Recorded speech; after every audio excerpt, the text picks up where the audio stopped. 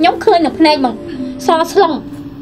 នៅចុង7លងតាំងប្រធានអង្គការលងតែក្មេងៗហើយក៏ដឹងអង្គការមានតងយូលមកហ្នឹងមកអង្គុយយូតងមក10ពី10យប់បាត់ឃើញដូចជាសម្ោជាកូនសិស្សគាត់ជាអីនៅក្នុងហ្នឹងចឹងគាត់ដើរតាមទៅក្រួយដុំដៃដើមចេញបាត់មក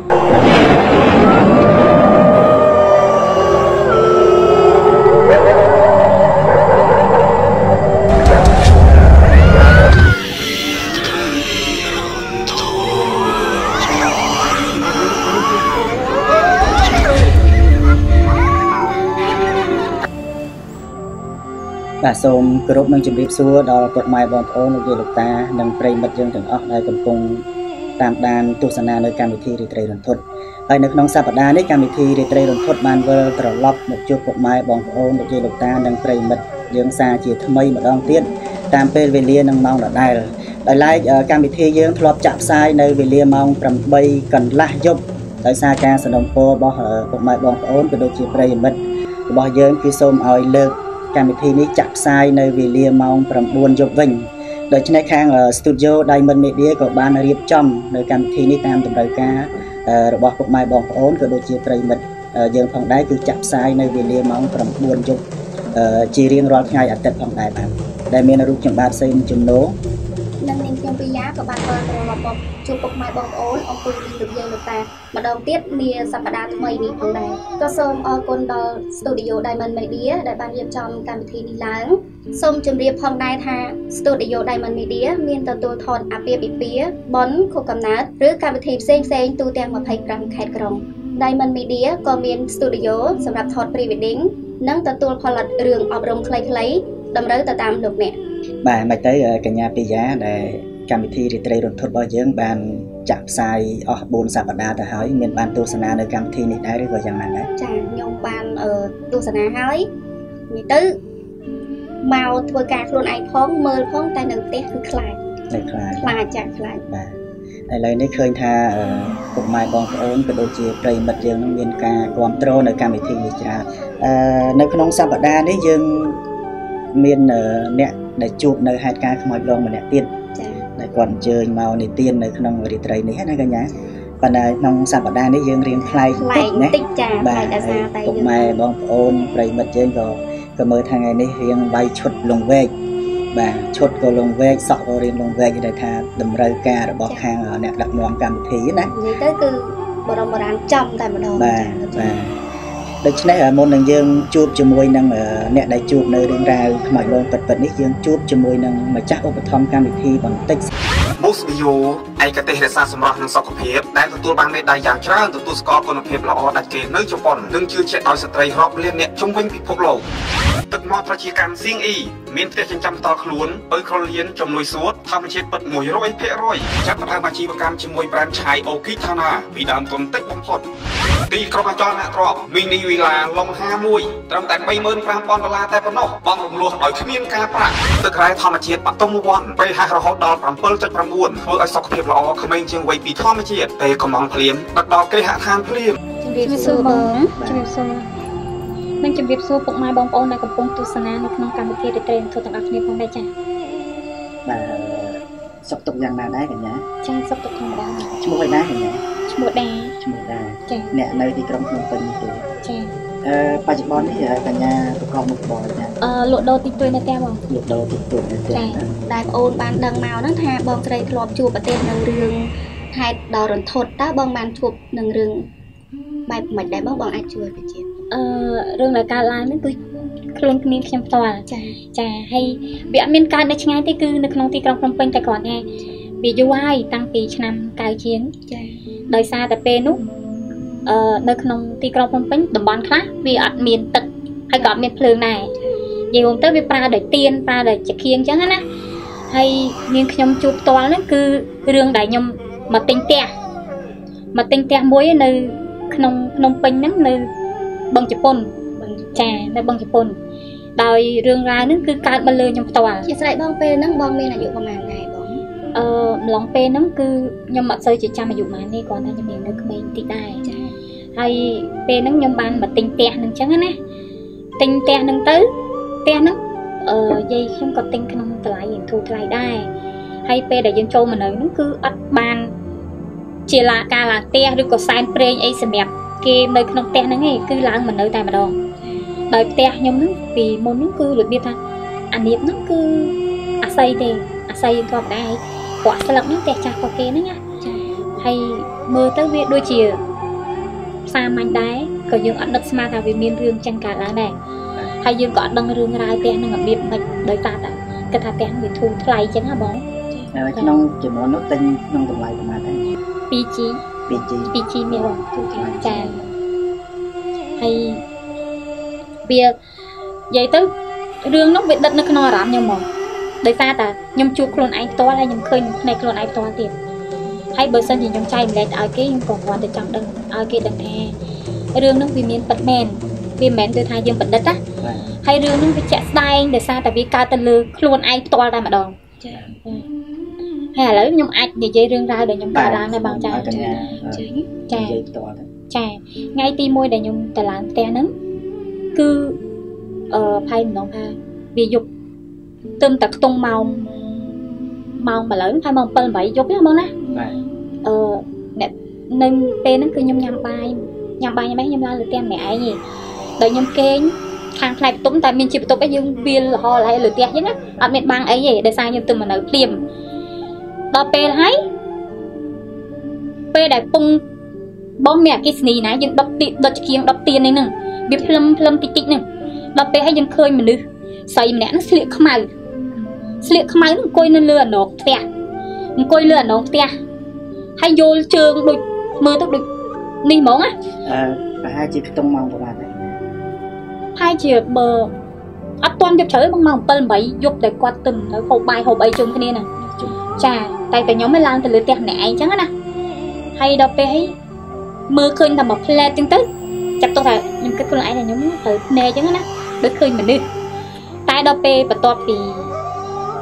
ចឹងហើយខ្ញុំក៏អត់បានប្រាប់ម៉ាក់ខ្ញុំឬក៏ខ្ញុំអត់បានទេព្រោះយើងពីមុនហ្នឹងក៏យើងអត់ដែលគិតថាខ្លាចខ្មោចឬក៏យើងជឿថាមានខ្មោចឬក៏យើងអីយើងអត់ដែលដឹងអត់ដែលឮហើយក៏អត់ដែលឃើញវាជាលើកទី1ចឹងណា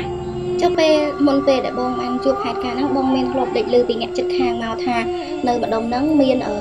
ខ្មោចឬក៏មានរឿងហេតុការណ៍អីកើតឡើងដែរអត់អត់ដឹងនិយាយនិយាយម៉ាក់និយាយខ្ញុំគាត់មកទិញក៏គាត់អត់ដឹងដែរគាត់បានដឹងសោះម កថាផ្ទះហ្នឹងវាមានប្រវត្តិហើយហើយដល់ពេលបន្ទាប់ពីថ្ងៃទី1មកចូលថ្ងៃទី2ថ្ងៃទី2ហ្នឹងគឺខ្ញុំបានអឺគេងជាមួយនឹងម៉ាក់ខ្ញុំគេងជាមួយនឹងម៉ាក់ខ្ញុំហ្នឹងគឺគេងធម្មតានៅម៉ោងពេលញ៉ាំបាយដដែលយើងទៅឡើងគេងធម្មតាអញ្ចឹងណាបាទពួកអីស្មានហ្នឹងក៏នៅតំបន់ហ្នឹងពីមុនក៏វាដូចសុខសែដែរវាមិនមែនជាទីក្រុងទំនើបអីទេតែញ៉ាំតែគេងមួយម៉ាក់ខ្ញុំណាថ្ងៃទី2ហ្នឹងគឺខ្ញុំមានអារម្មណ៍ថាខ្ញុំរន្ធត់ជាងគេហ្មងដោយសារតា ពេលដែលកំពុងតែគេងបែរមកខាងអានងដែលខ្ញុំធ្លាប់ឃើញហ្នឹងគឺគាត់លក្ខណៈថាគាត់អង្គុយនៅលើអានងហ្នឹងដដែលតែគាត់ផ្ដេកខ្លួនដូចដូចអាមនុស្សយើងដេកឲ្យខ្លួនមកចេះហ្មងណាហើយគាត់អំបិលក្បាលគាត់ហ្នឹងធ្លាក់សក់ហ្នឹងមកដល់អានៀបយើងក្រមកអឺសូមសូមឲ្យកញ្ញាបញ្ជាក់តិចអានងហ្នឹងបានន័យថាអានងផ្ទះបើថាខ្ញុំនិយាយមិនច្បាស់ប៉ុន្តែតែអាចដូចថា អាកន្លែងដូចចិត្តសកដាលដូចជាសដើមបានន័យថាចាក់ភ្នំដោយផ្ទះចាភ្នំចាហ្នឹងហើយគាត់ហ្នឹងគាត់តែអង្គុយចិត្តអង្គុយចិត្តសកដាលហ្មងអូចាហើយអង្គុយហើយលក្ខណៈថាថ្ងៃទី2គឺអឺអោនទៅយងខ្លួនឡើងថ្នមថ្នមហើយងាកក្បាលអំបិលក្បាលហ្នឹងមើលមកយើងហ្មងគាត់ចាប់ដើមដូចថាតម្លាក់ខ្លួនខ្លួនមួយស្កចាប់ស្កប់ចឹងណាចាហើយអំបិលអំបិលក្បាលហ្នឹងមើលឲ្យបោកភ្នែកហើយតម្លាក់សក់ ឡើងតាយមកដល់អឺនេះនៅពេលដែលបងឃើញហេតុការណ៍ហ្នឹងភ្លាមភ្លាមនោះបងមាននឹកដល់ហ្នឹងបងត្រូវខ្មោចលងឬក៏បងមានការផិតភ័យតក់ស្លុតយ៉ាងណាដែរបងពេលហ្នឹងខ្ញុំឃើញអញ្ចឹងខ្ញុំក៏សួរម៉ាក់ខ្ញុំមកថាថាស្អីគេម៉ាក់ខ្ញុំហើយជាគាត់គាត់ថាខ្លាចខ្ញុំខ្លាចដូចភ័យអញ្ចឹងណាគាត់ក៏យកដៃបិទភ្នែកខ្ញុំហើយគាត់ប្រាប់ថាឲ្យខ្ញុំសម្លឹងគេងហើយធម្មតាតែបិទភ្នែកហើយយើងអត់សូវគិតអញ្ចឹងគេងបាត់អញ្ចឹងទៅហើយយើងក៏អត់បានទៅសួរនាំគាត់ទៀតទៅហើយក៏គាត់ អត់មាននិយាយអីច្រើនដែរតែគាត់គាត់ប្រាប់ថាមួយថ្ងៃទៀតចម្លងផ្ទះអញ្ចឹងណាតែអត់មានតន់មកឡើងផ្ទះណាអាថ្ងៃបន្ទាប់ពីថ្ងៃទី2ថ្ងៃទី3ដែលខ្ញុំឡើងមករស់នៅផ្ទះនឹងដដែលហ្នឹងខ្ញុំឡើងមកលើផ្ទះហ្នឹងសារហ្នឹងគាត់អត់មានតម្លាក់សក់អត់មានអីទាំងអស់សូមឲ្យកញ្ញាបញ្ជាក់សារឡើងវិញបន្តិចអឺនៅពេលដែលកញ្ញាជួបនៅហេតុការណ៍ហ្នឹងហើយរត់ទៅសួរម្ដាយហ្នឹងក្នុងចិត្តខ្លួនឯងហ្នឹងគិតថាអត់ស្គាល់ខ្មោចអត់ដឹងថាខ្មោចដងឬក៏យ៉ាងម៉េចដែរអត់ដឹងអត់ដឹងអត់ដឹងសោះហ្មងអូ ចាខ្ញុំអត់ដឹងទេបើពេលហ្នឹងខ្ញុំដឹងមិនដឹងខ្ញុំរត់ប៉ុណ្ណាទេកាលហ្នឹងដោយសារតែនៅក្មេងពេកណាចាហើយជើងលើកឡើងលើតម្លាក់សក់តម្លាក់ក្បាលចុះក្រោមបបល់ខ្លួនបើកភ្នែកធំធំហើយអត់ដឹងថាខ្មោចបងមិនដឹងនិយាយទៅដូចល្ងងក៏ថាបានដែរតែអត់ដឹងហ្មងខ្ញុំអត់ដឹងហ្មងដល់ខ្ញុំសួរម៉ាក់ខ្ញុំថាស្អីគេហ្នឹងគឺគាត់គ្រាន់តែប្រាប់ថាឲ្យខ្ញុំហើយជាគាត់ខ្លាចខ្ញុំភ័យខ្លាចខ្ញុំឈឺអញ្ចឹងណាតែបញ្ជាក់ថាទៅជាខ្មោចទៅជាអីគាត់អត់ហ៊ាននិយាយប្រាប់ខ្ញុំអញ្ចឹងណាតែថ្ងៃបន្ទាប់ហ្នឹង ដែលខ្ញុំទៅស្មាននឹងដដែលតែរៀងដូចជារៀងជ្រេទីមិនដល់ម៉ោង7ម៉ោង8ទេអឺខ្ញុំឡើងទៅដែរមួយម៉ាក់ទៅដែរមកគេងទៅដែរអញ្ចឹងណាស្រាប់តែពេលដល់ពេលឡើងទៅដល់ផ្ទះហ្នឹងឃើញស្ទង់ខ្មៅដូចលំបាល់មួយអញ្ចឹងខ្មៅបាទប៉ុណ្ណានៃនឹងនៅនៅណាកន្លែងអាអឺក្នុងផ្ទះនឹងដដែលអញ្ចឹងណាគាត់ដូចឃើញប៉ុណ្ណឹងអញ្ចឹងហើយស្រាប់តែឃើញលោតផ្លោតមកមកចំហៀងទ្វារខាងនេះហើយបាក់អានៀប ផ្ទះយើងប៉ុណ្ណឹងសូមកាត់បងបន្តិចនៅពេលដែលបង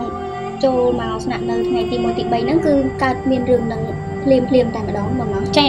កើតភ្លាមភ្លាមហ្មងដោយសារយើងមិននៅភ្លាមយើងថាធម្មតាឡើងផ្ទះឡើងអីត្រូវមានលោកហ្មងចូលហ្នឹងតែយើងអត់ស្គាល់ហើយយើងក៏អត់ដឹងហេតុការណ៍ដែលកើតឡើងនៅក្នុងផ្ទះហ្នឹងដែរហើយដែលពេលដែលវាដែលខ្ញុំតតាមខ្ញុំមកឡើងថ្ងៃទី3ហ្នឹងណាគឺដូចខ្មៅប៉ុណ្្នឹងហើយនៅឯនងផ្ទះវាលោតមកវានៅចិត្តទ្វារមិនថា អឺនេះឯងបាក់ទាំងទ្វាររបូតខ្ទេចអស់មកហើយពេលហ្នឹងម៉ាក់ខ្ញុំនៅតែកុហកខ្ញុំទៀតថាមិនខ្មោចថាខ្មោចម៉ាក់ខ្ញុំថាមិនទេគាត់ថាឆ្មាលោតអាបៀតថាតែនៅពេលហ្នឹងអឺម្ដាយកញ្ញាហ្នឹងគាត់ឃើញសកម្មភាពឃើញ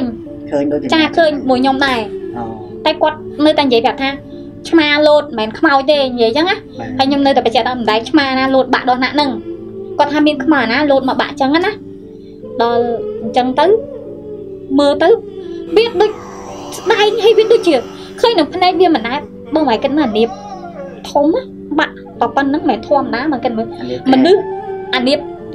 ក្តារយើងហ៎បាទក្តារយើងហ្នឹងយើងគិតថាបើសិនជាមនុស្សលោតពីនឹងមកក៏វាអត់បាក់ដល់ណាក់ហ្នឹងដែរបើជិះទេចុះថ្ងៃបងអឺបន្ទាប់ពីយប់នឹងកាត់ហេតុហើយថ្ងៃស្អែកឡើងមានបាក់អានៀបនឹងមែនតើឬក៏បងឃើញបាក់ពេលបាក់ហ្នឹងពេលគេលងនឹងអត់ទេពេលបាក់ហ្នឹងគឺយាយតាខ្ញុំគាត់មកទាំងអស់ មើលមកគ្រួសារគឺឃើចាញទាំងអស់ឃើញទាំងអស់ឃើញអានេះបាក់អញ្ចឹងហើយគាត់សួរម៉ាក់ទៅម៉ាក់ថាគាត់ចេះថាគាត់ហ៊ាននិយាយធំព្រោះវានៅយប់អត់ទេចង់កញ្ញាពីយ៉ាគាត់ចង់សួរកញ្ញាថានៅពេលណាដែលនៅពេលដែលម្ដាយរបស់កញ្ញានិងរូបកញ្ញាបានឃើញអានាបនឹងបាក់ចាតែដល់ពេលក្រោយមកហ្នឹងអានាបហ្នឹងវានៅតែបាក់ដដែលឬក៏យ៉ាងម៉េចបាក់បងបាក់បាក់មែនតើចាបាក់មែនតែននិយាយរួមទោះបីជាថ្ងៃឬក៏ស្អីនៅតែបាក់ដដែល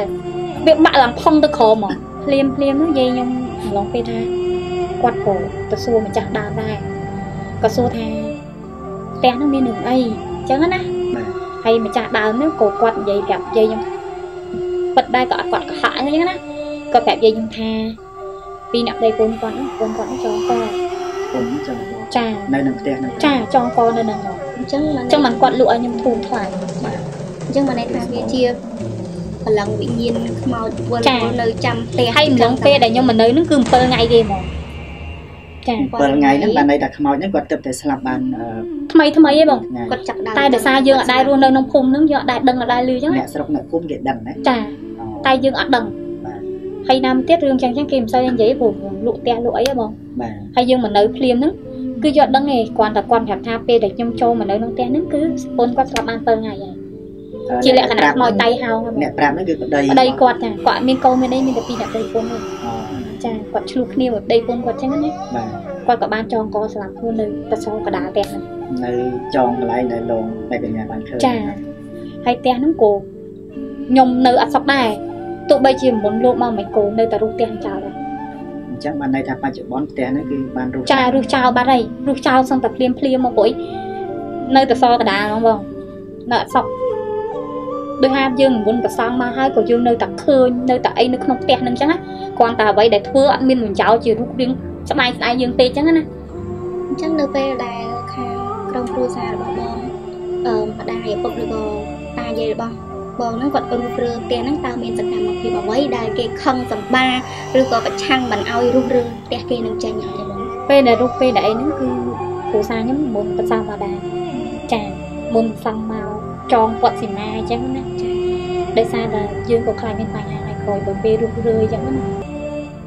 ហើយតាំងពីពេលហ្នឹងមកតាំងពីពេលរូបផ្ទះហ្នឹងមកមិនចាប់ផ្ដើមអឺធ្វើផ្ទះថ្មីមិនអាចនៅសុកបានបានន័យថារូបផ្ទះចាស់នឹងហើយសង់ផ្ទះថ្មីនៅលើដីដីដដែលហ្នឹងតែគ្រាន់តែរូបផ្ទះហ្នឹងចោលហើយរឿងមួយទៀតហ្នឹងក៏ជារឿងដែលស្ត្រីពូធំចង់កគឺស្ត្រីម្នាក់ដែលគាត់នៅខាងជើងផ្ទះខ្ញុំហ្នឹង ដែលផ្ទះគាត់ផ្ទះហ្នឹងគាត់មិនមែនជាអ្នកម្ចាស់ផ្ទះហ្នឹងទេតែគាត់ជាអ្នកសាកសៃដែលគាត់ធ្វើខ្ទមមួយមួយពីរអ្នកដីពូនគាត់ហ្នឹងក្បែរផ្ទះហ្នឹងប៉ុន្តែតំបន់ហ្នឹងនៅតែជាអឺមានទឹកមានបឹងអីដល់ហើយអត់មានភ្លើងទឹកដែរបងនៅតែនៅឡើយឯងប្រហែលជាឆ្នាំប្រហែលដែររំលងពីសាច់រឿងទី1ដែលកញ្ញាបានជួបមកម្លងមិនតាន់បានប្រហែលឆ្នាំហើយជាមួយឆ្នាំជាងក្រោយឯងពេលដែលខ្ញុំទៅនៅផ្ទះហ្នឹងបានមួយឆ្នាំមានរឿងហ្នឹងកើតឡើងមួយទៀតតែ អឺអាការអឺរឿងដែលស្ត្រីស្លាប់ហ្នឹងមិនមែនកើតនៅពេលដែលខ្ញុំទៅនៅទេគាត់កើតនៅពេលដែលខ្ញុំមុនខ្ញុំទៅនៅទៀតតែគ្រាន់ថាសកម្មភាពពេលហ្នឹងគឺអត់តន់លងដល់ពេលគាត់ចាប់ផ្ដើមលងហ្នឹងគឺម្លងពេលដែលមួយឆ្នាំជាងហើយដោយសារតែម្ចាស់ផ្ទះហ្នឹងគាត់រកកាត់ដើមឈើកាត់អីទៅពីរឿងហ្នឹងសាច់រឿងស្រដៀងគ្នាចា៎ប៉ុន្តែអ្នកវាមិនលនៅងខាងជើងផ្ទះបងហ្នឹងមិនទាន់ចាញ់សកម្មភាពជាលងអឺទេចា៎ចាគឺខាងផ្ទះបងហ្នឹងលងមុនចានៅពេលដែលស្ងប់ស្ងាត់ដែលបងខាងគ្រួសារបង ជួសជុលផ្ទះសារឡើងវិញហើយរំលងបានមួយឆ្នាំហើយបានមានរឿងហេតុថ្មីនៅខាងផ្ទះអ្នកផ្សេងមួយទៀតចាហ្នឹងហើយហើយម្លងនោះម៉ែគួរដឹងហ៎បាពីជំនាន់កាយជាងអត់មានផ្ទះជាប់ជាប់គ្នាទេបាទសត្វតែព្រៃហើយខ្ញុំក៏មិនសូវដឹងថាមានខ្មោចលងដែរដោយសារតែមានអឺក្មេងៗហ្នឹងគេមកនិយាយថានិយាយទៅស្ដាប់គេអំពីកូនអត់យើងវាមិនដឹងឲ្យឆ្ងល់មិនថាទៅពេលកូនប្រាប់ខ្ញុំថាក្នុងពេលកូននៅចុង7ហ៎ ចង់ដឹងបងមិនដើរទៅមើលបាទហើយដើរនៅអ្នកឯងហ្នឹងគ្នាច្រើនក្មេងៗដូចគ្នាហ្នឹងមិនមិនដូចនេះបបួលទៅស្ដាប់រឿងស្ដាប់គេអំពីកូនហ្មងចុងប្រហែលជា7ម៉ោងប្រហែលដែរពី10ថ្ងៃត្រង់ហ្មងថ្ងៃត្រង់ថ្ងៃត្រង់ចែអូចាហើយបងអើយស្ទង់ហ្មងសស្គុកចេញមកទាំងថ្ងៃតាំងថ្ងៃយកហឹងហ្មងងហឹងក៏សអីក៏សដែរនៅក្នុងផ្ទះឬក៏យ៉ាងនៅដើម7អឺដើម7ចឹងបានន័យថាដើម7នោះវានៅជាប់ផ្លូវអ្នកដែលចងកហ្នឹងគឺគាត់ចងកនៅក្នុងដើម7ហ្នឹង ហ្នឹងក៏ខ្ញុំអត់សូវដឹងច្បាស់ហ្មងដែរតែដឹងថានៅក្នុងបរិវេណផ្ទះហ្នឹងតែដោយសារតែម្ចាស់ផ្ទះគេកាប់ដើមឈើឬក៏កាប់ដើមឈើដែលគាត់ធ្លាប់ចងកមិនដឹងទេណាបានជាទៅទៅនៅនឹងដើម7ហ្នឹងពីមុនក៏គាត់ដែរដឹងថាមានខ្មោចទៅអំពេលនៅដើម7ហ្នឹងណាដល់ឃើញជាក់ស្ដែងជាក់ស្ដែងនៃកើតឡើងនៅក្នុងក្រុមគ្រួសារគាត់ចឹងណាហើយដូចខ្ញុំហ្នឹងទៅមើលឃើញខ្ញុំឃើញនៅភ្នែកហ្មងសស្លុងនៅចុង7ចាស់ក្មេងៗដែលទៅជាមួយបងហ្នឹងមានដឹងថាឲ្យតែខ្មោចខ្មោចលងគេដឹង ពេលដែលឃើញតែគ្រាន់តែចាប់ផ្ដើមពេលឲ្យកលួចភ្លាមរត់ចោលខ្ញុំអស់ហើយចាចឹងបានន័យថាក្មេងៗគ្នាឯងចង់ធ្វើបាបគ្នាចាស្អែកឡើងហៅខ្ញុំទៅមើលទៀតខ្ញុំអត់អត់ទៅដល់ដើម7ហ្នឹងហ្មងទេពីដំបូងដែលខ្ញុំទៅគឺខ្ញុំតើទៅដល់ដើម7ហើយអើទៅមើលលើខ្ញុំឃើញមែនតែដល់ពេលថ្ងៃបន្ទាប់ហ្នឹងគឺខ្ញុំអត់បានដើរទៅដើម7ហ្នឹងទេខ្ញុំដើរទៅដើម7ហ្នឹងតែខ្ញុំស្ដាប់គេពេលកូនបើឯងយល់វា ពេលដែលយើងស្ដាប់ហើយវាកលួចជាងគេច្រៀងទេបងបាទពេលហ្នឹងពេលសំឡេងឡងសួរឡងស្រួយមកចមកង់ឲ្យកញ្ញាពីយ៉ាងពេលទៅមិនថែបងពេលកូនចេះដែរអត់ចេះទេលោកជំនោមើលកញ្ញាអាចចាំពេលដែលខ្មោចពេលហ្នឹងជាលក្ខណៈពេលបំពេលយកម្រឹងឬក៏យ៉ាងម៉េចយកមកនិយាយទៅបំពេលរាល់ថ្ងៃឲ្យតែម៉ោង12គាត់មិនដែលខានសូម្បីតែមួយថ្ងៃគាត់បំពេលដល់ថ្នាក់អឺអ្នកខ្លះដើរកាត់ចឹងទៅក៏ខ្លាចមិនហ៊ានដើរកាត់ផ្លូវហ្នឹង ពេលថ្ងៃត្រង់ក៏មិនហ៊ានដើរកាត់មុខផ្ទះហ្នឹងបាទវាដូចថាវាព្រៃស្តុកហើយវាស្ងាត់មានតែផ្ទះគាត់មួយហើយក្រៅហ្នឹងព្រៃទាំងអស់វាអត់មានជាលក្ខណៈផ្ទះអ៊ូអរដូចបច្ចុប្បន្នសូមទេតិចនៅពេលហ្នឹងនៅក្នុងមួយភូមិហ្នឹងតើមានប្រមាណគ្រួសារដែរបងតិចណាព្រោះអីដោយសារតែផ្ទះមួយមួយម្លងឆ្ងាយមិនមានផ្ទះមួយទៀតនិយាយរួមម្លងម្លងព្រៃមួយមិនមានផ្ទះមួយទៀតវាអត់បាននៅផ្ទះជាប់ជាប់គ្នាដូចភូមិវាអីទេវាវាជាលក្ខណៈភូមិដែរតែវាស្ងាត់ 90ជាងនៅជាតំបន់ព្រៃហ្នឹងចានៅធ្វើស្រែធ្វើអីឡើងហ្នឹងបាទនៅបរតេះគោរហូតដល់ចាប់ផ្ដើមមានផ្ទះប្រជាជននៅមកចាប់ផ្ដើមមកនៅមួយមួយណាម្លងថាចូលឆ្នាំ9 5 96បងចូលដល់ឆ្នាំ95 96វិញហើយពេលហ្នឹងចាប់ផ្ដើមបោះឆ្នោតបោះចាំឡើងមានប្រជាជនមានអីណាមករស់នៅណាតែរឿងហ្នឹងវាបកមកវិញបកមកគ្រួសារគាត់ដោយកូនគាត់ហ្នឹងកូនប្រុសគាត់ហ្នឹងណានៅសុកសុក បែរជាមិនដឹងជាចូលអីទេបងតើជាឡើងដើម7ហ្នឹងណាតើឡើងដើម7ហ្នឹងកូនមកចាស់ផ្ទះចាចាស់ផ្ទះហ្នឹងឡើងដើម7ហ្នឹងហើយលោតទៅលើដើម7ហ្នឹងតែវាចែកដន់ថាអាក្រោមផ្ទះហ្នឹងគេធ្វើអាសំណាញ់នេះហ៎សំណាញ់សម្រាប់ហាហាស្អីហ៎វាធំអាហ្នឹងណាបើសិនជាអត់សំណាញ់ហ្នឹងថាយើងបំបាក់កងងាប់ក៏បាក់ដៃបាក់ជើងគាត់ឡើងនឹងក្នុងបំណងលោតលេងឬក៏ឡើងដោយសារតែខ្មោចចូលនៅសុកសុកតែគាត់ដូចថាពងជុំគ្នាអញ្ចឹង គាត់ថាអញចង់ឡើងចុងនឹងលេងចឹងយល់លេងចឹងនិយាយចឹងណាស្រាប់ឡើងទៅដល់ចុងគាត់មានយល់ណាគាត់ហក់មកមកចូលដែរទេតែគាត់លោតខ្ពស់មកដល់7ខ្ពស់ខ្ពស់គាត់ហក់មកខ្ពស់ចុះនៅពេលដែលគាត់និយាយអញ្ចឹងមានអ្នកហាមគាត់ឬ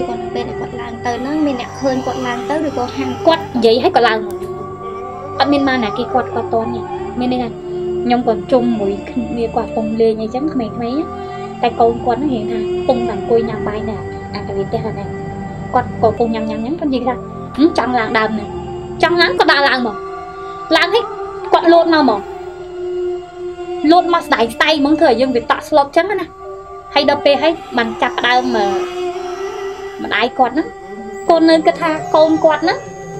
មើលមាយមកឡើងដើមឈើលោតចឹងណាគាត់នៅតែអត់ជឿទេតែរឿងហ្នឹងក៏កើតលើកូនស្រីគាត់ទៀតដដែលគ្រូសាហ្នឹងចាដដែលកូនស្រីគាត់ម្ដង សារហ្នឹងកូនស្រីគាត់កាន់កម្មាទៅចងនឹងនឹងពេលកូនតែអត់លោតទេ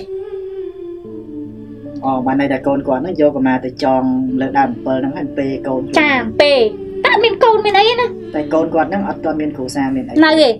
ក្មេងទេបាទតែគ្រាន់តែឡើងដើមហ្នឹងហើយយកហឹងយកទៅចងពេហើយដល់ពេលយើងទៅសួរទៅគាត់ថាគាត់ពុំមើលកូនគាត់សួរអញ្ចឹងណាបានប្រាប់គាត់លួងគាត់ចុះមកវិញអញ្ចឹងណាអឺយកមកពេក្រោមមកអញ្ចឹងណា ចេះតែលួងលួងទៅក៏ចុះមកវិញបាទអត់មានលោតដូចបងផងទេណាបានម៉ាក់គាត់ហ្នឹងទៅមុនលោកមុនអីហើយគេមើលទៅថាមិនបានកូនគាត់ពីរហ្នឹងបាទជាការរឿងអស់នឹងកើតឡើងបានគាត់ប្រាប់ថាស្ត្រីដែលចងកស្លាប់តាំងពីប្រហែលឆ្នាំមុននោះដែលបានពោពុះស្លាប់ហ្នឹងវិញ្ញាណគាត់នៅវល់វល់ហ្នឹងគាត់អត់បានទៅចាប់ជាតិទេហើយដូចថាគាត់នៅអាឡឡៃប្តីគាត់ចឹងណាចាំប្តីគាត់មកវិញចឹងណា ដោយសារតែគាត់ចាំនៅខ្ទមហ្នឹងឯងមិនទៅតែរូបខ្ទមហ្នឹងចាំមកគាត់ទៅនៅដើមពិលដល់ទៅស្លាប់ទាំងវ័យក្មេងនៅក្មេងមែនហ្នឹងហ៎បងដល់ពេលដែលគាត់អញ្ចឹងទៅគាត់ក៏សម្រេចចិត្តថាហៅលោកមុនមកសូត្រប្រយ័ត្នតោអញ្ចឹងទៅក៏សម្រេចចិត្តថាគាត់កាត់ដើមពិលចោល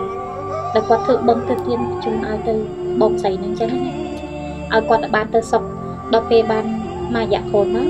អត់ទេបងតើអត់សុកទេ គាត់កាត់ពីដើមឈើហ្នឹងគាត់មកដើមឈើមួយទៀតអំពិលដូចគ្នាវាមានភ្លោះពេអំពិលជូរអំពិលផ្អែមចេះ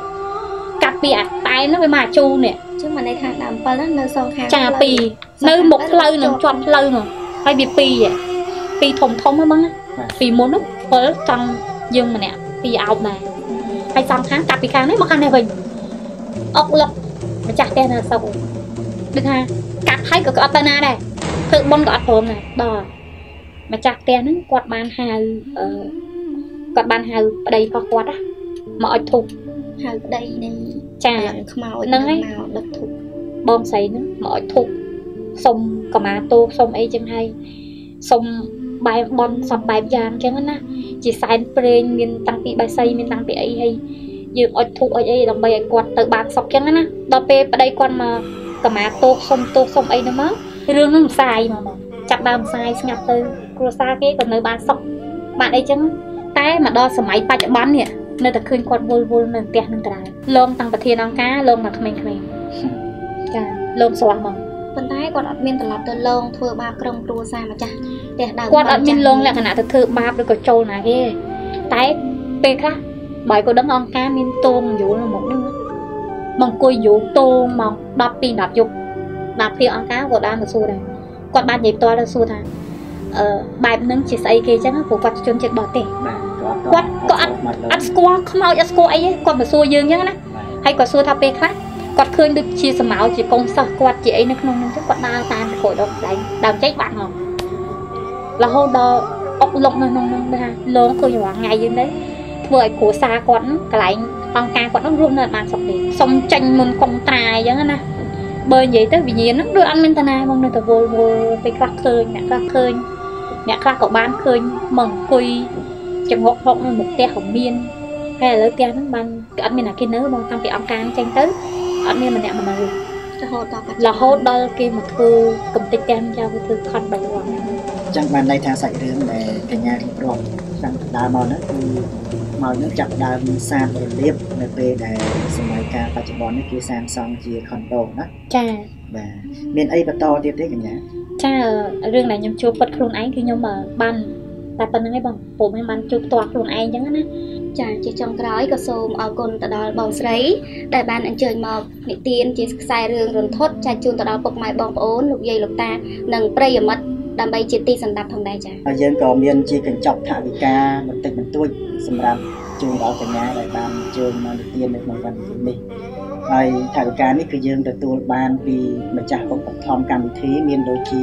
ទឹកមាត់ត្រជាកម្មស៊ីងអ៊ីសុទ្ធ100%គ្មានសារធាតុគីមីទឹកមាត់ត្រជាកម្មស៊ីងអ៊ីបើក្រលៀនជំនួយដល់សួតធ្វើឲ្យសម្រស់ស្រស់ស្អាតដូចធម្មជាតិទឹកមាត់ត្រជាកម្មស៊ីងអ៊ីពិសាបានគ្រប់វ័យពិសាពេលព្រឹកនិងមុនចូលគេងក្រុមហ៊ុនស៊ីងអ៊ីមានផ្ទះចិញ្ចឹមត្រជាកម្មដោយខ្លួនឯងផ្ទាល់និងចំអិនធ្វើថ្មីជារៀងរាល់ថ្ងៃមានសម្បុករើសហើយស្អាតស្ងួតប្រកបដោយផាសុកភាព Moss BU ផលិតផលជប៉ុនសុទ្ធ100%ផលិតដោយបច្ចេកវិទ្យាទំនើបចុងក្រោយបំផុតឆ្លងកាត់ការស្រាវជ្រាវបែបវិទ្យាសាស្ត្រយ៉ាងល្អិតល្អន់និងទទួលបានមេដាយដ៏ច្រើនដែលគេទទួលស្គាល់ថាជាផលិតផលល្អដាច់គេរបស់ជប៉ុននិងជឿជាក់ដោយស្ត្រីរាប់លានអ្នកលើពិភពលោក Moss BU ឯកទេសថែរក្សាសុខភាពនិងសម្រស់លោកអ្នកអាចរកជាវ Moss BU តាមរយៈ Facebook Page Moss BU Cambodia ឬព័ត៌មានបន្ថែមសូមទំនាក់ទំនងមកកាន់លេខទូរស័ព្ទទឹករ៉ែធម្មជាតិបតុមវ័នមាន pH រហូតដល់ទៅ7.9ពិសាហើយធ្វើឲ្យលោកអ្នកមានសម្រស់ក្មេងជាងវ័យ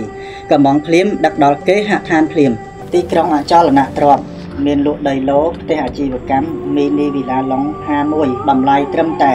35,000ដុល្លារបង់រំលោះដោយគ្មានការប្រាក់ទឹករ៉ែអូគិឋានាចាប់ផ្ដើមអាជីវកម្មជាមួយ franchise អូគិឋានាលោកអ្នកចំណាយដើមទុនតិចតែទទួលបាននូវអត្ថប្រយោជន៍ដ៏ច្រើនសន្ធឹកសន្ធាប់សូមជូនជាថវិកានេះចាអរដល់គុណកចាញ្ញាចាហើយអឺ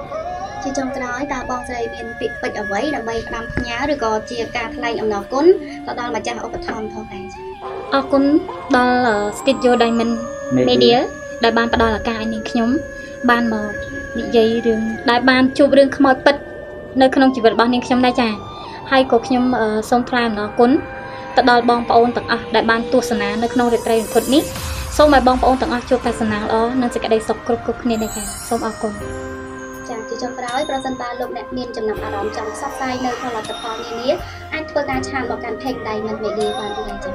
បាទមិនតែប៉ុណ្ណោះប្រសិនបើពុកម៉ែបងប្អូនលោកយាយលោកតារួមទាំងប្រិយមិត្តយើងដែលមាននៅរឿងរ៉ាវផ្ទាល់ដែលលោកអ្នកបានជួបជារឿងរ៉ាវខ្មោចលងលោកអ្នកអាចទំនាក់ទំនងមកកាន់ page របស់ Diamond Media បានដូចគ្នាផងដែរបាទដូច្នេះសម្រាប់កម្មវិធីរាត្រីរន្ធត់នៅក្នុងរាត្រីនេះបានឈានចូលមកដល់ទីបញ្ចប់ហើយយើងខ្ញុំសូមសន្យាថានឹងវិលត្រឡប់ មកជួបពុកម៉ែបងប្អូនលោកយាយលោកតានិងប្រិយមិត្តយើងសាជាថ្មីម្ដងទៀតតាមពេលវេលានិងម៉ោងដដែលសម្រាប់ពេលនេះខ្ញុំបាទសេមជំនោនាងខ្ញុំពីយ៉ាសូមអរគុណសូមជម្រាបលា Moss Bio ឯកទេសរក្សាសម្រស់និងសុខភាពដែលទទួលបានមេដាយយ៉ាងច្រើនទទួលស្គាល់គុណភាពល្អដាច់គេនៅជប៉ុននិងជឿជាក់ដោយស្ត្រីរាប់លានអ្នកជុំវិញពិភពលោកទឹកមាត់ប្រជាកម្មសៀងអ៊ីមានផ្ទះចិញ្ចឹមផ្ទាល់ខ្លួនបើក្រលៀនជំនួយសួតធម្មជាតិពិត100%ចាប់ផ្ដើមអាជីវកម្មជាមួយ brand Chai Okitana ពីដើមទុនតិចបំផុតទីក្រុងអចលនទ្រព្យមីនីវីឡាឡុង51ត្រឹមតែ35,000ដុល្លារតែប៉ុណ្ណោះបងរំលោះដោយគ្មានការប្រាក់ទឹករ៉ែធម្មជាតិបតុមវ័ន pH រហូតដល់7.9ធ្វើឲ្យសុខភាពល្អក្មេងជាងវ័យពីធម្មជាតិពេលកំងភ្លាមដឹកដល់គេហដ្ឋានភ្លាម